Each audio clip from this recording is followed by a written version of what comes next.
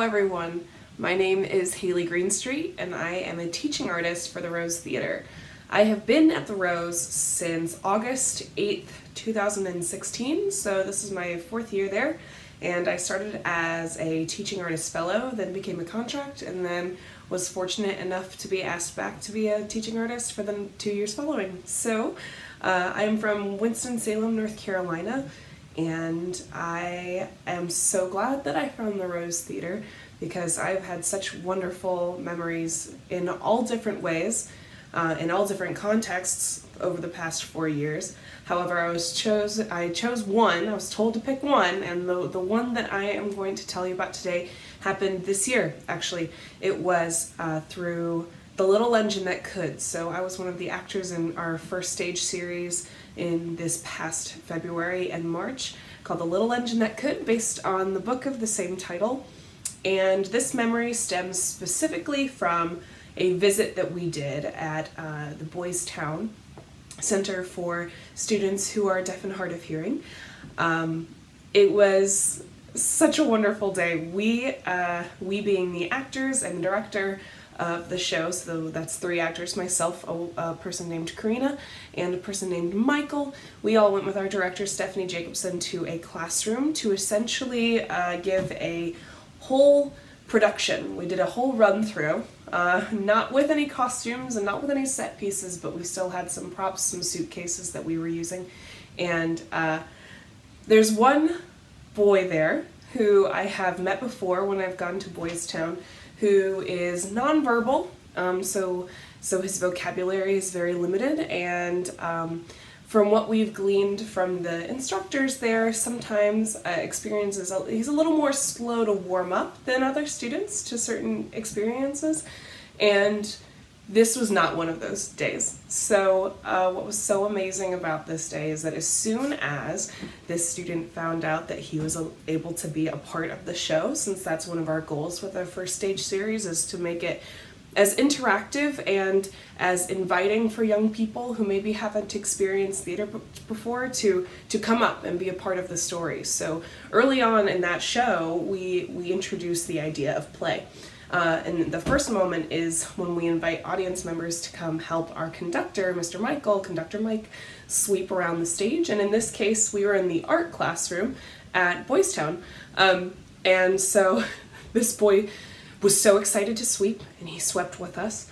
And then any chance he got to come up and be the really big, angry, grumpy train, the super speedy train, the fancy train, he was on it and he was always there and always so excited to the point where in the show I my character doesn't want to play and doesn't want to use my imagination. And he unlike many many young people who saw that show they were questioning of my character or they got annoyed or frustrated with my character for not wanting to play.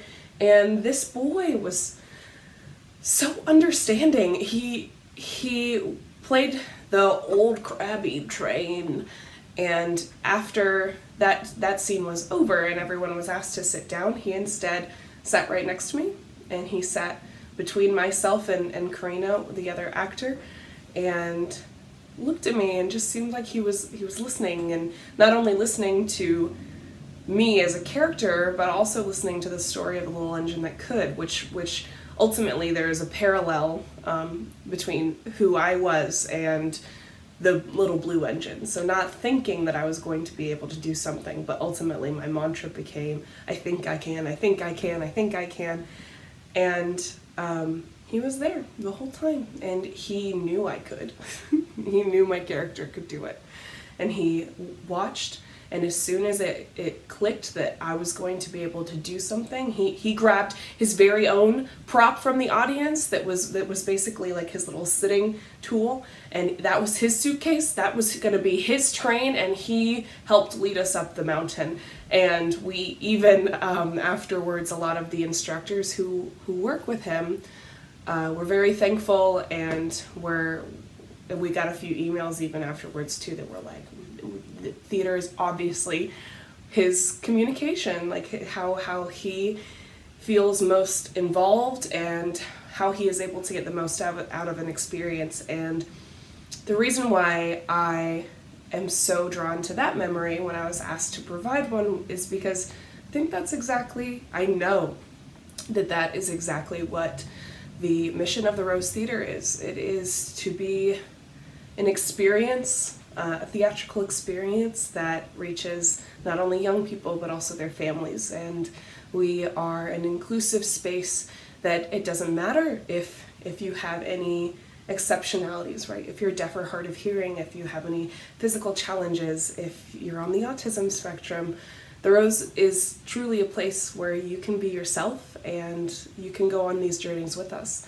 And I think that this particular memory is just so on par with our mission and what we hope to bring to young people and families when when they grace our presence, whether that be at the Rose Theater or in your very own classroom.